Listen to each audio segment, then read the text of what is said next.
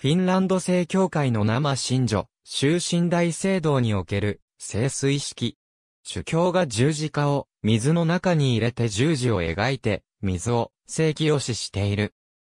主教の前方左右には、ティキリと取り切りを持つ、福タスク祭が立っている。他、司祭、タスク祭が主教を囲んでいる。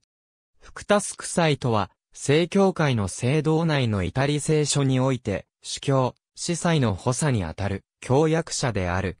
教宗、教約者には数えられるが、新品には数えられない。新品機密によってではなく、主教による祝福を経て任につく。カトリック教会の副助祭に相当する。稀に、副補祭とのご表記が見られるので注意が必要である。聖教会の聖職者のシステム、以外については新品を参照。ギリシア語のイポとディアコノスを語源とする。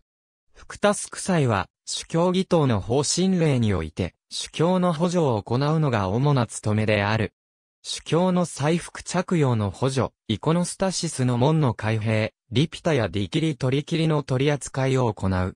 主教義党ではない司祭義党においても、福タスク祭は、方針令の補助に当たることができる。この場合の福タスク祭の役割は、同役と呼ばれるイタリ聖書の補助者と、ほとんど異なるところはない。福タスク祭は捨て張りと大帯を着用する。捨て張りは、神の恩寵を受けていることを表し、大帯は祈りを奉げる天使、セラフィムの翼をかたどるものである。福タスク祭は捨て張りを着用せずに大帯を着用することはない。これは、福タスク祭が神の恩寵の担い手ではなく、祝福を受けて、初めて職に当たることができることを示している。タスク祭は大帯を垂らす形に着用するが、副タスク祭は、方針令時に捨て張りの上に大帯を十字に交差させて着用する。